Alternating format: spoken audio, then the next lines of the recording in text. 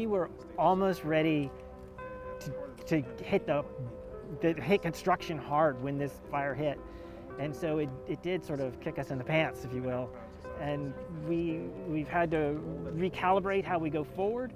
Uh, it's been a really great team to work with from, from the, the, the city to the, con, the contractor. Everyone's been on board to, to really come up with a, intelligent ways to rebuild from the fire. The city has always been 100% about restoring the Babcock building. The Babcock building uh, was built in 12 different sections. It is historic. Uh, it is an iconic building for the city of Columbia and the cupola that was on top of the uh, center portion of this building uh, is an iconic cupola for the city of Columbia. It will be the second most popular dome in the city of Columbia when it's restored here we are, we have an opportunity to, to really attract and leverage different opportunities to make this really work. Because this was a this was a monumental project. It was going to take a lot of different aspects really to make it go forward. So being able to work with the state and other people to make sure the credits come in to allow these guys to, to make the investment is exciting. And now that we see the construction and yeah, the fire had a little delay, but I think the fire may have actually helped them be more creative it's hard to look at it today. You might look at it and say, gosh, it doesn't look like a lot's been done. But there were trees growing out of the cornices. Those are gone, you know, and, and the amount of work that we have to do to this building because of the shape that it was in, just to get it back to a, a, a place where we can build from. So we had a lot of remedial work to do, and that work is about half done. Well, it's amazing what this team has done and really, in the grand scheme of things, uh, short order since the devastating fire that occurred here last year. So I really feel um, amazed and thankful that we're reaching this point. Um, I know that for the community at large, everyone is yearning and anxious for activity out here on Bull Street, and this is a real testament that it is happening, that it will continue to happen, and uh, we have a, some great partners um, that have you know, dedicated themselves to doing it right, even with such a historic property like the Babcock building.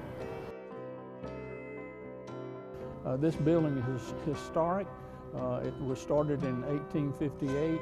Uh, it, it, was one of a kind building built for the mental health people. South Carolina was one of the first states to accept the responsibility for treating the mental health and the Mills building behind us over here was actually started in 1821. This makes it the bicentennial year for mental health treatment in South Carolina and the, the restoration of the Babcock building, which is uh, an innovative building in its time, will be a great addition not only to the city of Columbia but to the Bull Street property. I love it. This building, this building was designed to have this bucolic feeling about it. These wonderful trees, the landscaping, the, the, the intricacies of the architecture were all about making a good place to be. And so the fact that we're rebuilding that and making that usable again today, I think that's fantastic.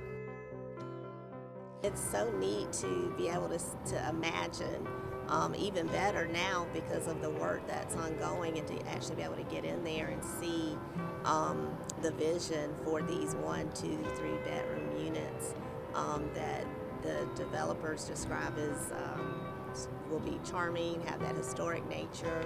So for uh, individuals in the very near future, as, as, early as next year, to be able to take part and help us activate Bull Street, make sure that it is um, a, a, live, work, play um, area that it was always designed to be. Um, I think it's so exciting to imagine actual families on the property and enjoying it and living here. This will be a, a, really game changer for the district. And you know, the original plan for this had been to have some more residential. So I think the key that the residential is coming first is really going to help with the commercial and the restaurant side. The Bull Street District is really taking off now. We've had two national brands already open up, REI and Starbucks. We have a, uh, another brewery opening up uh, next to the uh, Starbucks that's going to be great. We have the, the West Lawn building, which is a wood mass building. It's going to be the largest wood mass building in South Carolina, uh, opening up right near the, the Starbucks. Uh, Merle's Garden is open. We've had uh, the SoCo building. We've had the first base building already open up. We're also about to, um, we, it's ready now and people are already using it, but we're going to have the official naming and ribbon cutting for our new park, the city park that is out here, the daylighting of the stream that's occurred. So, you know, certainly exciting for people who will live on Bull Street, but also just anyone in the city of Columbia to come and partake in the amenities that will be here